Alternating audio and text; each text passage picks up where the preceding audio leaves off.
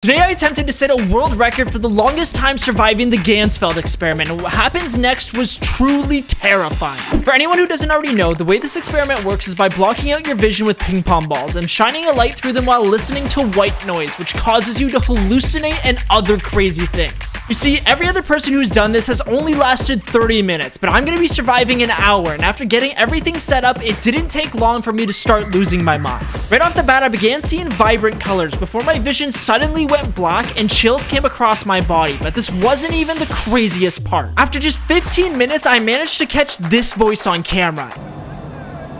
And everything after that was the scariest experience of my life, so go watch the full video on my YouTube channel to see what happens.